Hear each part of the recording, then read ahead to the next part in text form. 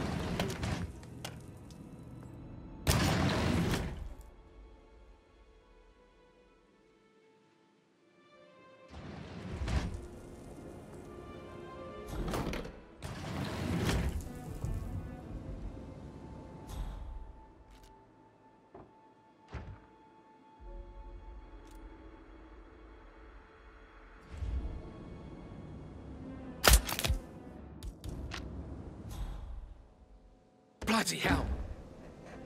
No! No!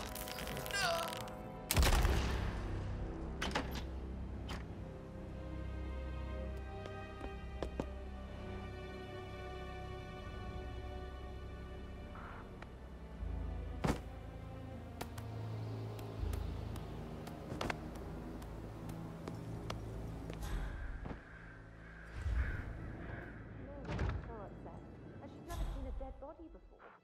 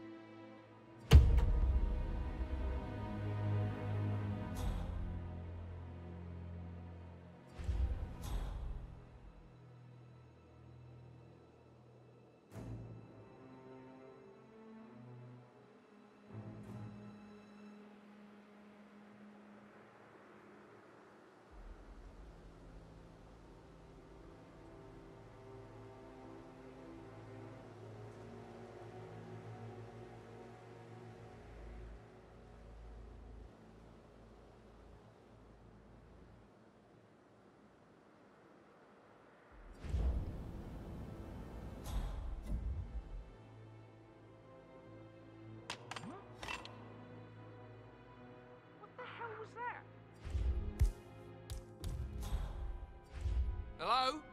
It's just me. Don't throw anything at me. Look,